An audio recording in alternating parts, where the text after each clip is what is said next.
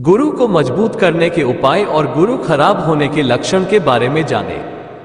जैसा कि आपको पता ही होगा कि हिंदू धर्म के अंदर हर दिन किसी ना किसी देवता को समर्पित होते हैं। इसके बारे में आपको पता होना चाहिए, और आप इस बात को समझ सकते हैं। गुरु के बारे में जानते ही हैं। एक गुरुवार होता है जो कि गुरु का दिन होता है। यदि गुरु किसी की कुंडली के अंदर काफ़ी कमज़ोर हो जाता है तो जीवन के अंदर कई तरह की परेशानियाँ आने लग जाती हैं, इसके बारे में आपको पता होना चाहिए। इसलिए यदि आपका भी गुरु कमज़ोर है तो उसे मज़बूत करने का उपाय करना चाहिए। जीवन के अंदर यदि गुरु कमज़ोर होता है तो इसकी वजह से कई सारी परेशानियों का सामना करना पड़ता है। इसके बारे में आपको अच्छी तरह से पता होना चाहिए। और आप इस बात को समझ सकते हैं तो गुरु को मज़बूत बनाने के लिए आप कुछ उपाय कर सकते हैं, जिससे कि गुरु मज़बूत होगा। तो आइए जानते हैं उन उपायों के बारे में। अलावा आप किसी जानकारी ज्योतिषी से भी पूछ सकते हैं कि गुरु को मज़बूत बनाने के लिए क्या किया जा सकता है। गुरु को मज़बूत करने के उपाय, पीले रंग कपड़े पहने। दोस्तों, यदि आपको सही सही यह पता चल चुका है कि आपका गुरु खराब है तो आप यह उपाय कर सकते हैं। आप कर सकते हैं कि गुरुवार के दिन पीले वस्त्रों को धारण करें। ऐसा करने से आपका गुरु मज़बूत होता है और यह शुभ माना जाता है। हालाँकि पीले कपड़े काफ़ी अजीब लग सकते हैं, लेकिन आप मार्केट में मौजूद पीले रंग की टी शर्ट खरीद कर पहन सकते हैं। ध्यान दें, उसका रंग पूरा पीला होना चाहिए। इसके अलावा आप पीले रंग की पैंट पहन सकते हैं। यदि आपको मिल जाते हैं तो ठीक है, लेकिन यदि नहीं मिलते हैं तो फिर आप सिलवा सकते हैं। कुल मिलाकर आपको कुछ पैसा खर्च करना पड़ सकता है। गुरुवार के दिन दान करना चाहिए। दोस्तों, यदि आप अपने उप गुरु के बुरे असर को दूर करना चाहते हैं तो आपको चाहिए कि आप गुरुवार के दिन दान करें। गुरुवार के दिन दान करना आपके लिए काफ़ी फ़ायदेमंद हो सकता है। इसके बारे में आपको पता होना चाहिए।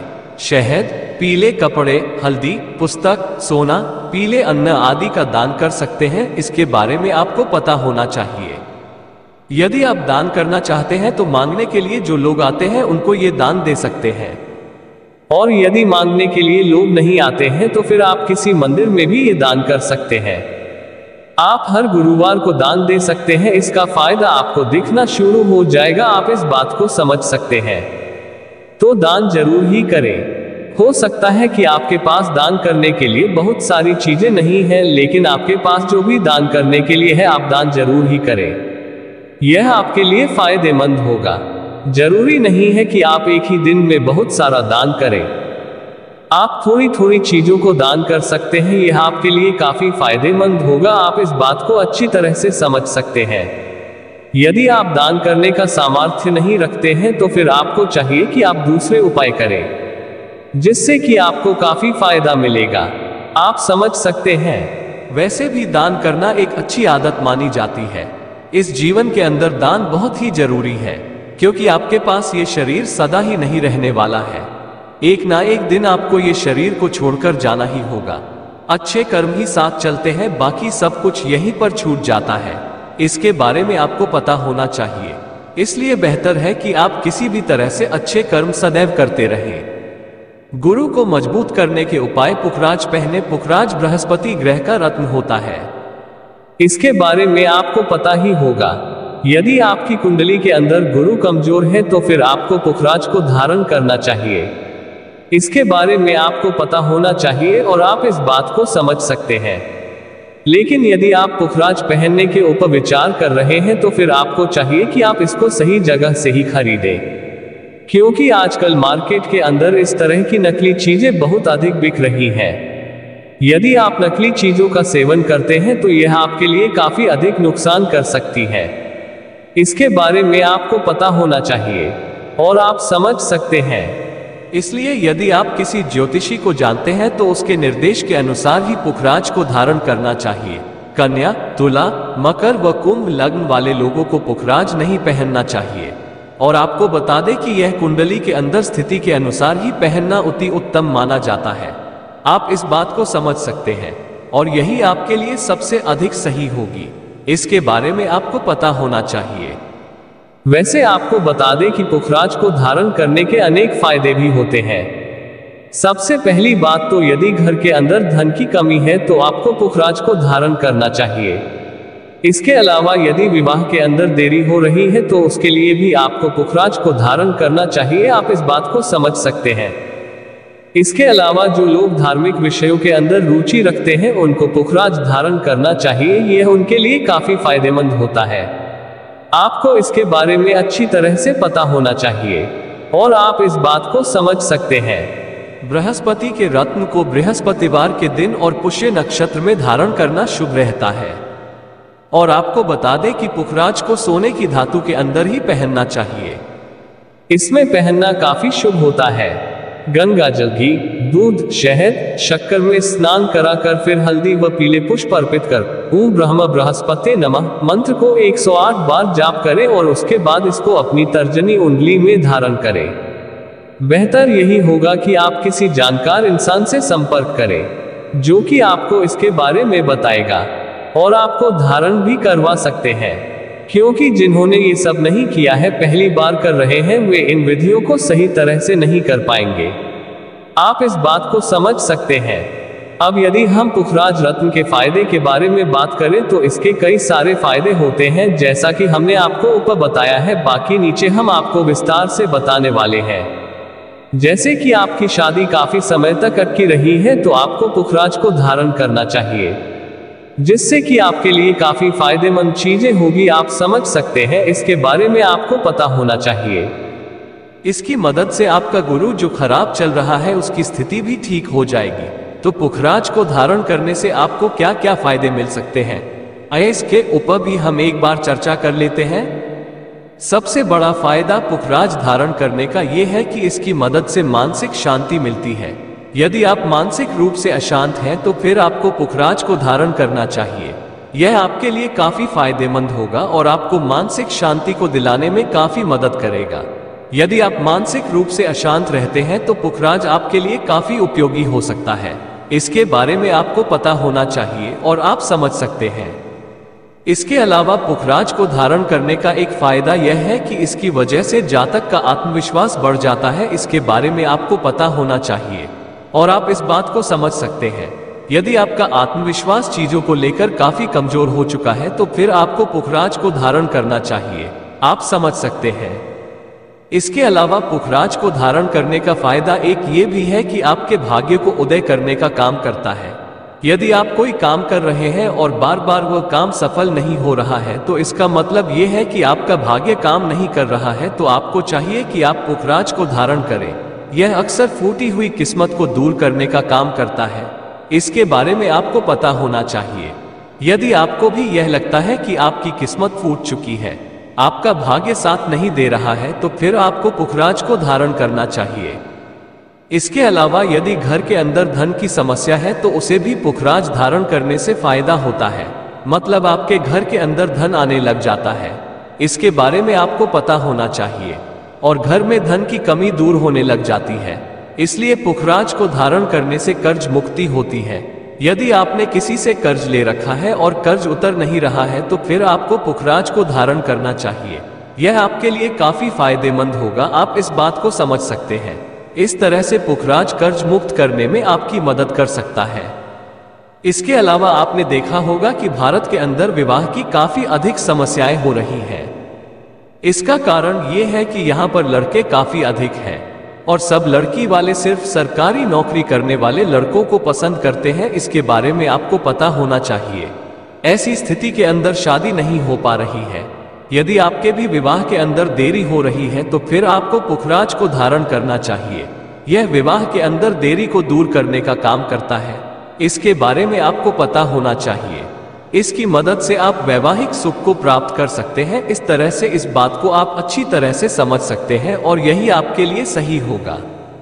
इसके अलावा पुखराज को धारण करने का एक फ़ायदा यह भी है कि ये दुर्घटना होने से पहले संकेत दे देता है और इस तरह से आपको एक संकेत मिलता है। यदि आपके अंदर उसे समझने की क्षमता मौजूद है तो आप उस बुरे होने से बच सकते हैं। इसके बारे में आपको पता होना चाहिए।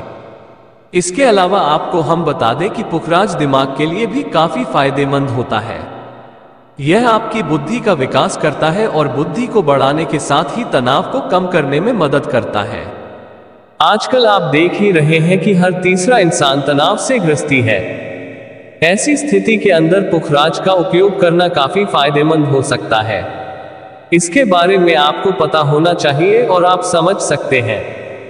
जब इंसान की बुद्धि का विकास हो जाता है तो उसके बाद इंसान विवेकपूर्ण कार्य करने लग जाता है। वह इस तरह के कार्य नहीं करता है जिसके अंदर मूर्खता हो, वह विवेकपूर्ण कार्य करता है। इसके बारे में आपको पता होना चाहिए और वह संस्कारी बन जाता है। इन सबके अलावा आपको बता दें कि पुखराज के धारण करने से संतान सुख प्राप्त होता है। जिन लोगों को संतान नहीं हो रही है, उनके लिए ये काफ़ी फ़ायदेमंद हो सकता है। बहुत से लोग ऐसे हैं जिनको संतान नहीं हो रही है तो पुखराज का उपयोग कर सकते हैं, शायद काम बन जाए। इसके अलावा आपको बता दें कि पुखराज कई तरह की शारीरिक समस्याओं को दूर करने का काम करता है, इसके बारे में आपको पता होना चाहिए। सीने में जलन, श्वांश फूलना, अल्सर, गठिया जैसी कई समस्याएँ होती हैं, इनके प्रभाव को कम करने के लिए पुखराज काफ़ी उपयोगी होता है। इसके बारे में आपको पता होना चाहिए और आप समझ सकते हैं, यही आपके लिए सबसे अधिक उपयोगी हो। इसके अलावा यदि आप धार्मिक कार्यों के अंदर विश्वास रखते हैं तो आपको पुखराज रत्न ज़रूरी ही धारण करना चाहिए, क्योंकि इस तरह के जातक के साथ झगड़े कम होते हैं और वह आसानी से चिंता मुक्त होकर विचरण करता है। इसके बारे में आपको पता होना चाहिए। इसके अलावा इस तरह का जातक सत्य के मार्ग पर चलने वाला बन जाता है। और इस तरह का जो जातक होता है, वो चिंता मुक्त हो जाता है। दुख होने पर भी दुख नहीं होता है। बड़ों का सम्मान करना सीखे, दोस्तों, आपको पता ही है कि भारतीय संस्कृति को फ़िल्मों और नाटकों ने पूरी तरह से नष्ट किया जा चुका है। नंगापन आधुनिकता हो चुका है। भारत के अंदर बढ़ते तलाक के मामले इस बात को स्पष्ट कर चुके हैं। यहाँ पर बहुत कुछ विदेशी सिस्टम आ चुका है। आपको बता दें कि यदि आपका गुरु काफ़ी कमज़ोर हो चुका है तो फिर आपको चाहिए कि आप बड़ों का सम्मान करें। बड़ों का अपमान कभी भी ना करें, वरना आपके लिए काफ़ी नुकसानदायी हो सकता है। इसके बारे में आपको पता होना चाहिए। इसकी वजह से आपके गुरु रुष्ट हो सकता है। यदि आप गुरु की स्थिति को अपनी कुंडली में मज़बूत करना चाहते हैं तो आपको अपने बड़ों जैसे माता पिता आदि का सम्मान करना होगा। आप इस बात को समझ सकते हैं, यही आपके लिए सही होगा। हालाँकि गुरु भी आजकल पहले जैसे नहीं रहे हैं। स्कूल शिक्षकों के अधारा बलात्कार करने की न जाने कितनी घटनाएँ सामने आती रहती हैं। तो इसके अंदर सम्मान जैसी कोई बात नहीं होती है। लेकिन माता पिता का तो कम से कम सम्मान करना ही चाहिए। आप इस बात को समझ सकते हैं। यहाँ पर सम्मान का मतलब यही है कि, कि आप उनके सामने ना बालें और उनकी बातों को ना काटे यही आपके लिए सही होगा। आप इस बात को समझ सकते हैं। अपने घर में साफ़ सफ़ाई करना ज़रूरी है। दोस्तों यदि आपकी कुंडली के अंदर गुरु की स्थिति अच्छी नहीं है तो फिर आपको अपने घर के अंदर साफ़ सफ़ाई करना बहुत ही ज़रूरी होता है। माना जाता है कि जिस घर में साफ़ सफ़ाई सही से नहीं होता है वहाँ पर गुरु का दोष होता है। इसलिए घर की महिलाएँ यदि हैं तो उनको सुबह उठने के बाद अपने घर को अच्छी तरह से साफ़ करना चाहिए और उसके बाद ही चूल्हे आदि पर खाना बनाना चाहिए। कुछ घरों में ये देखने को मिलता है कि घर की साफ़ सफ़ाई समय पर नहीं होती है, जिसके चलते काफ़ी परेशानी होती है। आप इस बात को समझ सकते हैं। वैसे भी घर की साफ़ सफ़ाई का होना बहुत अधिक ज़रूरी होता है। कारण यह है कि घर में गदनगी होने की वजह से घर में काफ़ी तेज़ी से बीमारियाँ फैल जाती हैं और घर के सदस्य बीमार होने लग जाते हैं। इसके बारे में आपको पता होना चाहिए और आप इस बात को समझ सकते हैं। यही आपके लिए सही होगा। क्योंकि जिस घर के अंदर गंदगी होती है, उस घर के अंदर मक्खी आती है और यह अपने साथ कई तरह के कीटाणु लेकर आती है जो कि बीमारियाँ फैलाने का काम करते हैं। इसके बारे में आपको पता होना चाहिए और आप इस बात को समझ सकते हैं। इसलिए अपने घर के अंदर साफ़ सफ़ाई करना बहुत ही ज़रूरी है। आप अपने घर में पोचा भी लगा सकते हैं जिससे कि घर के अंदर घूमते छोटे मोटे जानवर आसानी से मर जाएँगे। आप इस बात को समझ सकते हैं। पीपल की पूजा करना चाहिए। दोस्तों, पीपल की पूजा के बारे में आप जान सकते हैं। आपको पता ही होगा कि सनातन धर्म के अंदर के अंदर पीपल को काफ़ी पवित्र पेड़ माना जाता है। इसके बारे में आपको पता होना चाहिए। माना जाता है कि इसके अंदर कई देवताओं का वास होता है। और यदि कोई इसकी पूजा करता है, इसकी पूजा करने से शनिदोष से मुक्त मिलती है। इसके बारे में आपको पता होना चाहिए। इसके अलावा पीपल के पेड़ के अंदर माता लक्ष्मी और भगवान विष्णु जी का आवास माना जाता है। इसकी पूजा करने से काफ़ी फ़ायदा होता है। इसके बारे में आपको पता होना चाहिए। इसके अलावा पीपल के पेड़ की पूजा करने से आशीर्वाद मिलता है। और पितर भी प्रसन्न होते हैं। इस वजह से पीपल की पूजा करना काफ़ी फ़ायदेमंद होता है। आपको बता दें कि पीपल की पूजा का समय सही होना चाहिए। सूर्योदय से पहले पीपल की पूजा करने को अशुभ माना जाता है, क्योंकि इस समय लक्ष्मी की बहन लक्ष्मी पीपल के अंदर वास करती है और वह आपके घर में चली आती है। इसलिए रात में पीपल के पेड़ के पास भी नहीं जाना चाहिए। इस तरह से आप पीपल की पूजा कर सकते हैं। इसके बारे में आपको पता होना चाहिए। और आप समझ सकते हैं। वैसे आपको बता दें कि पीपल की पूजा करने का सिर्फ़ एक फ़ायदा यही नहीं है कि आपको गुरु के बुरे असर से मुक्ति मिलती है।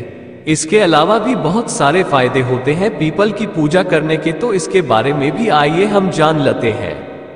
शनिवार के दिन पीपल की पूजा करना काफ़ी लाभदायक माना जाता है। दोस्तों, यदि किसी को शनि की साढ़े साथी चल रही है तो उसको शनिवार के दिन पीपल के पेड़ की पूजा करनी चाहिए। ऐसा करने का फ़ायदा यह होगा कि शनि की साढ़े साथी दूर हो जाएगी और कष्ट कम होगे।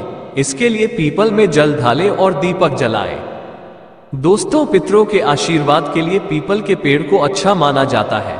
यदि आपके यहाँ पर पर पितर दोष है तो फिर आपको पीपल के पेड़ की पूजा करना चाहिए। पीपल के पेड़ की पूजा करने से पितर दोष दूर होता है और घर के अंदर शांति आती है।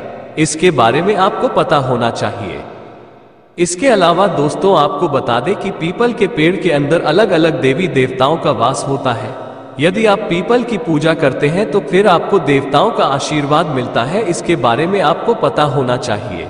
और इस वजह से आपके जीवन के अंदर मनोरथ सफल होते हैं। इसके बारे में आपको पता होना चाहिए। हम मानव जीवन के अंदर अनेक तरह के पाप कर्म करते हैं। और न चाहते हुए भी बहुत सारे पाप कर्म होते हैं जो कि हो जाते हैं। ऐसी स्थिति के अंदर हम कुछ नहीं कर सकते हैं। इस जीवन के अंदर जो भी इंसान आता है, वह कई तरह का पाप कर्म करता है। इसके बारे में आपको पता होना चाहिए। इसके अलावा आप समझ सकते हैं कि जब आप पीपल के पेड़ की पूजा करते हैं तो आपके सारे पाप कर्म समाप्त हो जाते हैं। हालाँकि इसका मतलब ये कतई नहीं है कि आप जानबूझकर पाप करते हैं, जाए और उसके बाद पीपल के पेड़ की पूजा करें। आपके मन में पश्चाताप होना चाहिए, तभी यह काम करता है। गुरुवार को व्रत करना चाहिए। दोस्तों, जिन लोगों का गुरु कमज़ोर होता है, उनको गुरुवार को व्रत करना चाहिए और इस दोष को दूर करने के लिए कम से कम तीन साल तक व्रत रख सकते हैं, तभी आपको इसके अंदर फ़ायदा मिलेगा। यदि हम व्रत की विधि की बात करें तो ये काफ़ी अधिक सरल है। इस दिन भगवान विष्णु की पूजा अर्चना और व्रत रखने से भगवान प्रसन्न होते हैं और भक्तों पर कृपा बरसाते हैं। और यदि आप गुरुवार को व्रत करते हैं तो आपको गुरु की कृपा प्राप्त होती है। सबसे पहले आपको गुरुवार के दिन जल्दी उठने के बाद स्नान करना चाहिए। उसके बाद पूजा के लिए केले पेड़ के नीचे भगवान विष्णु की मूर्ति स्थापित करें और उसके बाद उनकी पूजा करें। यदि केले का पेड़ नहीं है तो आप घर के मंदिर में भी लगा सकते हैं।